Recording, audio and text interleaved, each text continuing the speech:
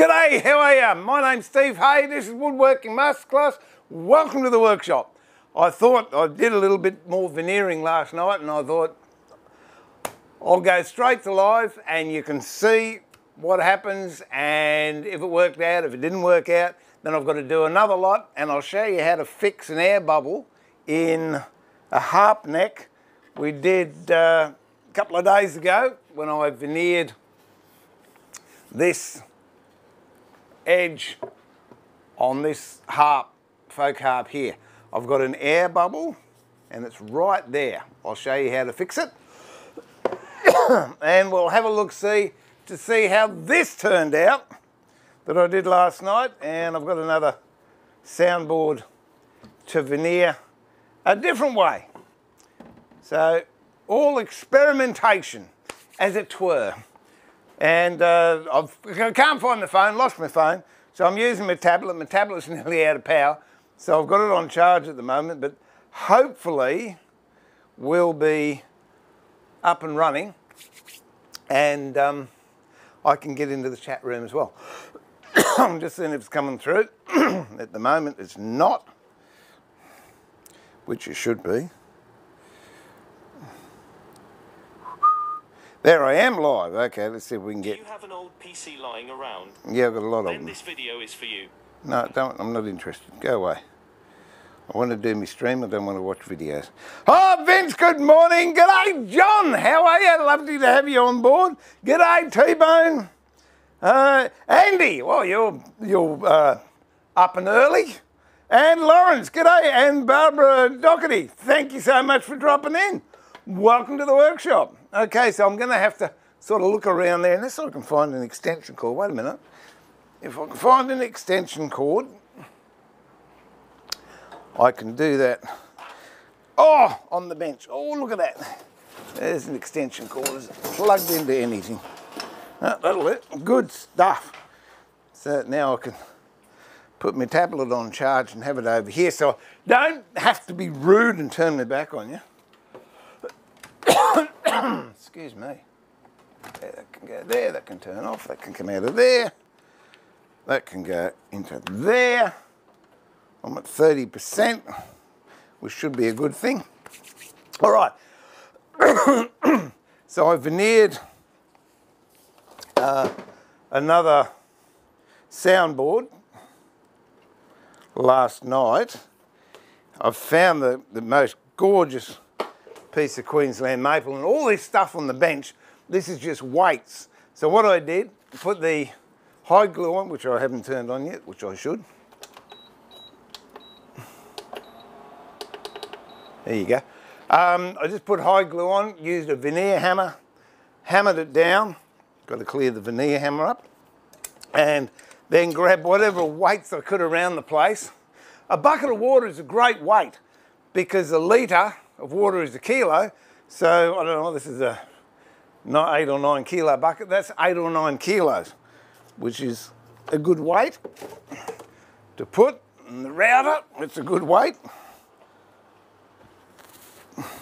It's not just an excuse to be messy, it was actually serving a purpose.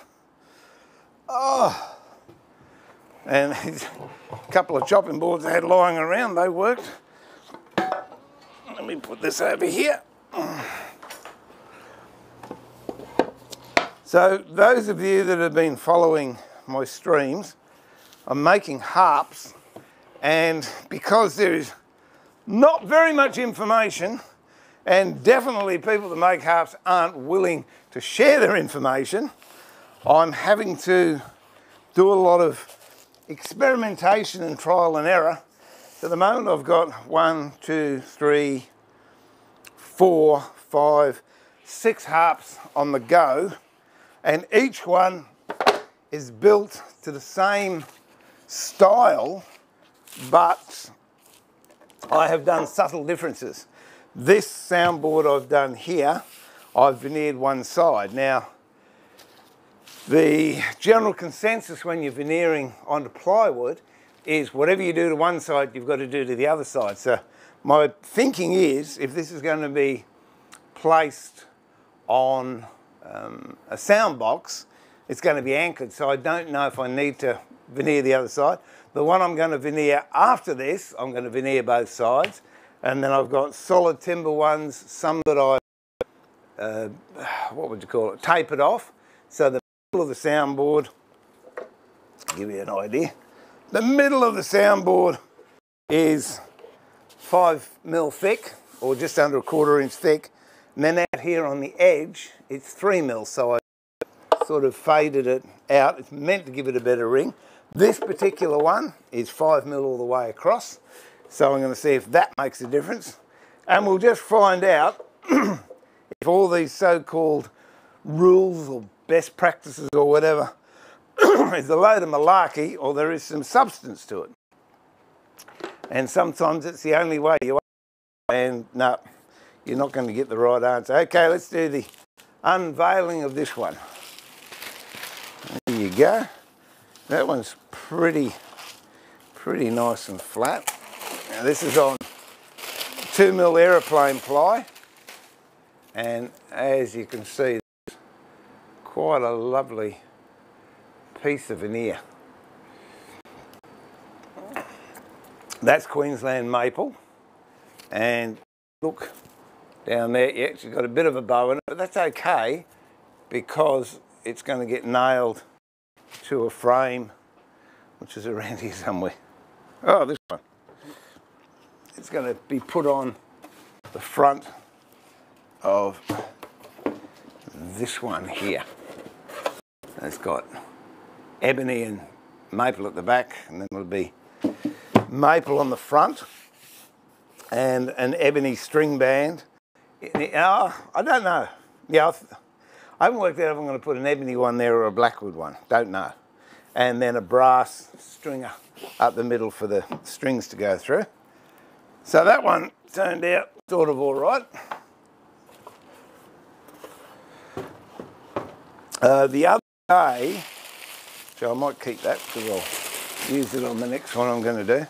The other day, I veneered, what am I looking for?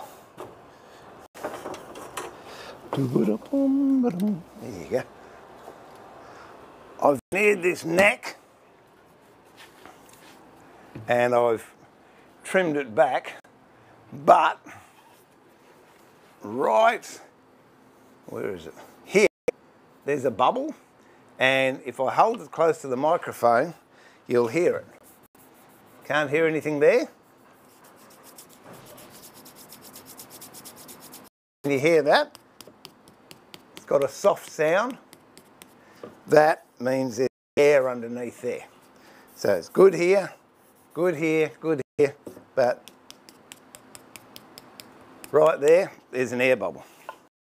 So you, there's various ways of doing it. Um, depending on the job, you could get a knife and put a little knife cut in there. Where are we?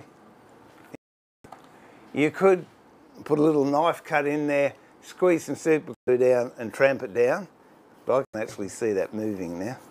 But uh, this definitely works with hide glue, this technique that I'm going to show you. And sometimes it works with PVA, but I would say 100% of the time it'll work with hide glue and most of the time work with PVA. To mark out where it is. Well, I sort of know where it is. It's right there. And I will fix it in a tick. But I'll just read the chat for the moment because I'm just waiting for something to happen. Oh, dear. Slide buffeting, but still okay. It's amazing when you have a rant. Look, the universe answers you. Oh, dear. Very good morning to you, Maxwell.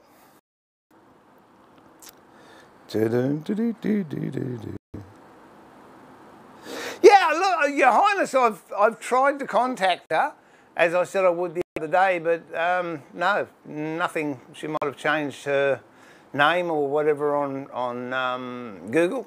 But never mind, I will persevere, John. I'm always happy, Max. Even when I'm cranky, I'm happy on the inside. Although, although I must admit, the one thing that does get me terse is incompetence. Incompetence I cannot stand when there is no excuse for it. Someone's just too lazy or lackadaisical or whatever. I must admit, gets on me goat. All right, where are we up to? Uh, uh, John, question: What are the advantages and the disadvantages, or is that the topic for another? day? No, I'm more than happy to. I love to espouse the virtues of hide glue.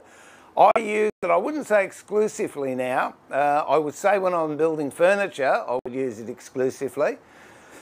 Uh, in a lot of cases, uh, when I'm using chopping boards, I use PVA. When I'm doing a lot of this luthery work, I use Titebond Original um, as opposed to any other PVA. The reason being, I was told it doesn't have creep, whereas most of the PVAs you get on the market have what they call creep, which means you can glue something together, sand the flat, finish and come back in the period of time, whether that period of time be weeks, months, or years, and the glue will actually come through the joins that you glued together. And you can sand it back, recode it, and it's going to happen again. It's just one of the inherent um, negatives, I guess, of PVA. I have been told, and I haven't experienced any creep, PVA uh, Titebond Original goes off very quick and it's not meant to creep. As yet, I haven't had any issues with it creeping. The thing I do love about hide glue, as I demonstrated the other day, I'm actually going to put it up as a short later on. Um, if you want to take it off, you just put a heat gun on it, get a chisel underneath it, and you can just the veneer off, and you can use it again in most cases. Uh, hide glue itself is, well, if you want to go down the road, it's a natural glue. It's from protein. Um, not just people say, oh, it's just, what do they call it? Hooves and hoof glue. It's not. I mean, there's all sorts of other things. Basically, it's gelatine. If you like jello or aeroplane jelly, you're eating hide glue and it's just a bit more refined, got some food colouring in it and some um, what I'm about to show you here is another benefit of hide glue, which I like it, and it lasts. I mean, you go on YouTube and, well, you're on YouTube now? Um, a lot of people oh, if you use hide glue, you've got to throw it away. That's absolute nonsense. I've had hide glue for six weeks in the glue pot. And some of you might remember the old Twitch days when I actually blew some rancid glue all over my face. That wasn't nice. But uh, really, if it hasn't got mould on it, use it. You'll know when it's off. You will know when it's off. Believe me, it stinks.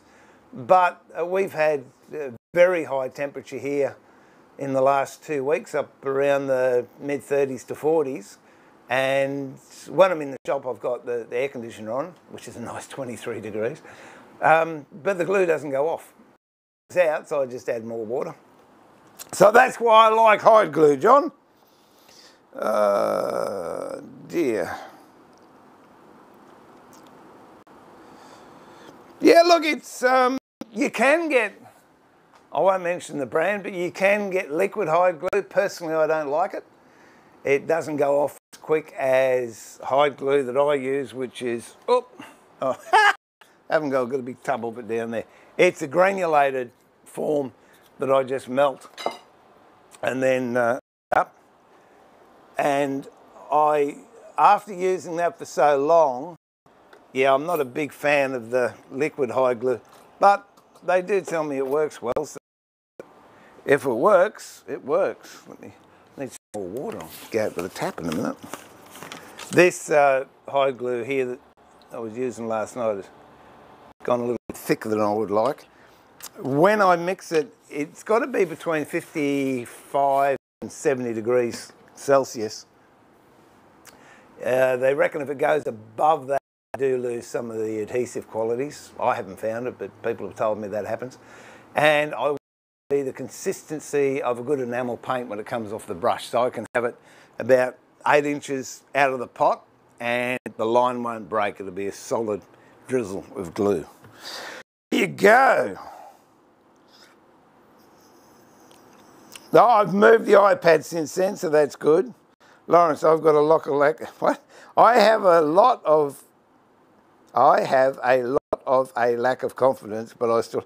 Oh, mate, it's the only way to get it done. I've Yeah, my, my grandkids say, oh, how did you do that? You did it first time. No, I've, I've stuffed things up more times than you've tried them. And that's the only way you're going to get it is just a friend of mine quotes his grandfather's favourite saying, when you're trying something new, give yourself permission, say, this is the first time I'm going to stuff it up.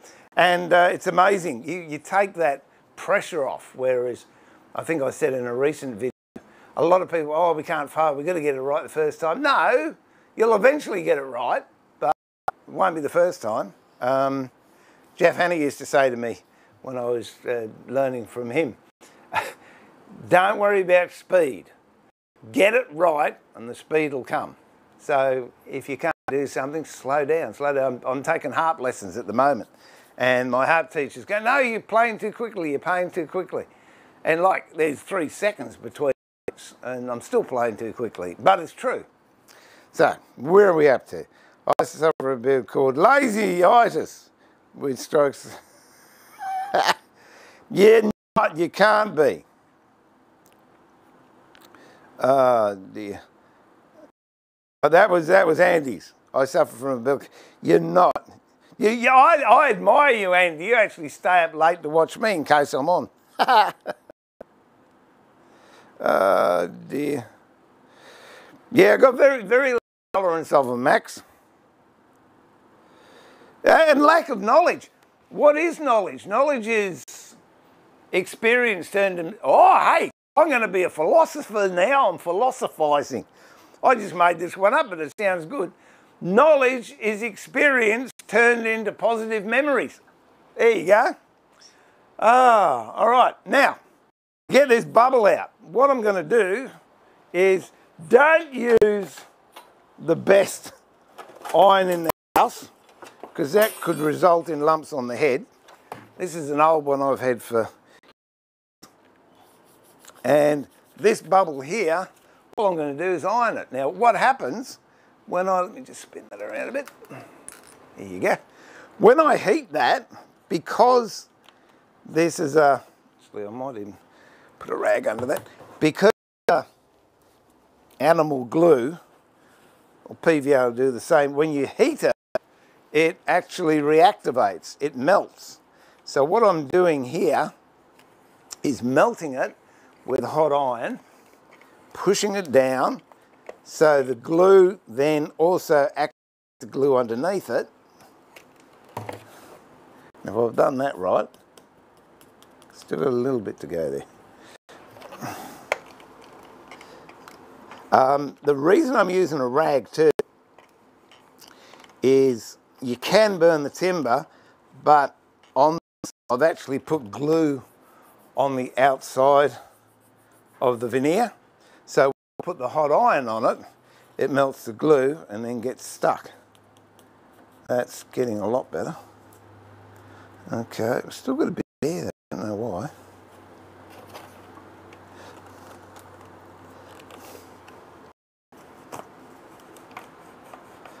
Um, those of you that see me for a while too, I double glue. And this is another reason for double gluing. I know I've got glue on both surfaces, so it should hold. This might be one of those exceptions where it doesn't, I don't know. But we'll give it a shot. Okay, right there.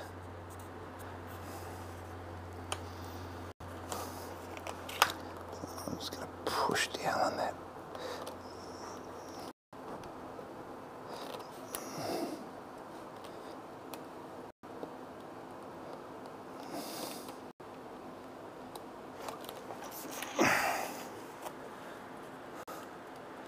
That is being a bit ornery. Okay, so what we'll do is, I don't know. There's always one, isn't there? There's always one. Where's a...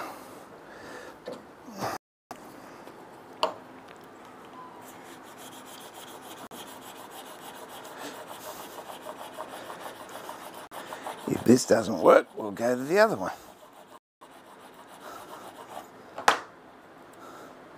Okay, that's not working. So we'll go to the one I don't like using, but it will. If I can find some. Oh, I'll just go outside grab some. I thought I had some in here.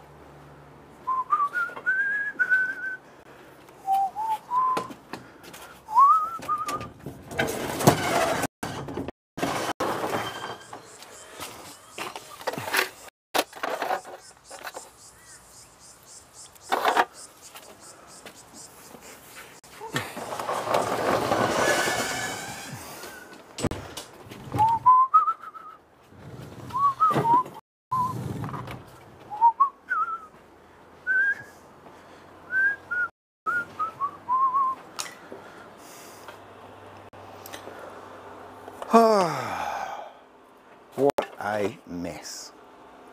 Here we go. All right. Let's just see if I'm going to get any out of that. Oh, good. Super glue. Oops, here we go. Super glue. Knife. Find out where it's kicking up. Just run a knife down there.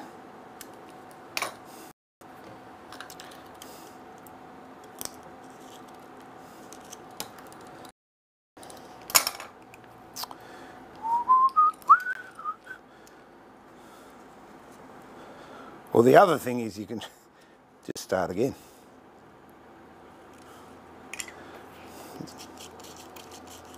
So I'm pushing that all the way in,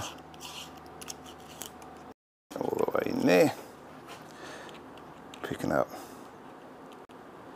You could use PVA, I guess.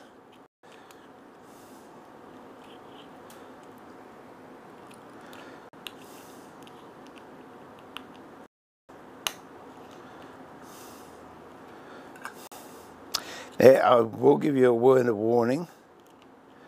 Super glue sometimes reacts chemically with other timbers. I've seen it done on, um, I think it was Scottish sycamore.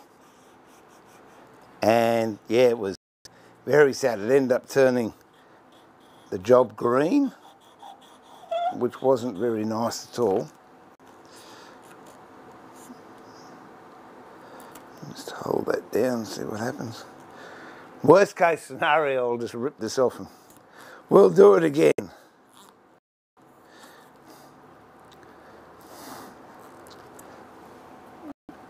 So while I'm holding on to this, oh, I can read the chat. Oh dear.